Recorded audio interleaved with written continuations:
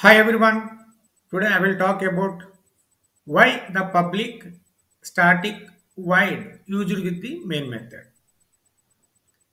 What is public? The public is an access modifier. This method will be accessible from anywhere. The main is a method. The main method must be declared as a public. Why? Because the main method will be accessible from anywhere. If I remove the main public keyword, I don't want to use the public keyword and save it. Then you compile this application. No errors to be found. Java space file name dot java. Then I will go for run the application. Java space main method class name. First example.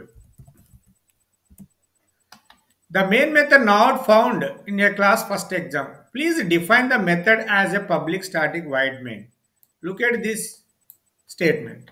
Why? Because the main method has to be declared as a public. Don't declare the main method as a protected or private or default. It must be declared as a public. That method will be accessible from anywhere. Then what is static? The static method will be accessible without creating an object to the class. That is the reason the static keyword has to be used with the main method. The main method will be called by JVM automatically without creating the instance to the first example. Then why should you use the void? The main method does not return any value. Suppose instead of void if I use any other data type, for example int, because int must return a value. Okay, I want to return something. Return 0. Then when you do the compilation, see no errors to be found. When I run this application, the main method must return a value of type void. Define a main method as public static void main.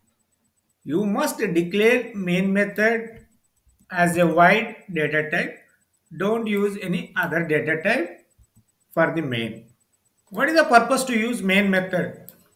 The execution of the program will be start from the main and end with the main. The Java project is consist of many classes. At least one class must have the main method. The JVM will check the main method for entry of the execution. Then why use string array? The string array has to be used to provide the input to the program through the command line arguments. That is the purpose the string array has to be used. The system is a final class. Out is an object of print stream class. Then println is a method of print stream class. We can invoke the println method by using this object.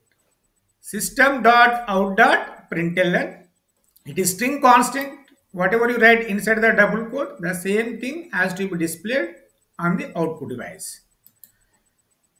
I will run this application.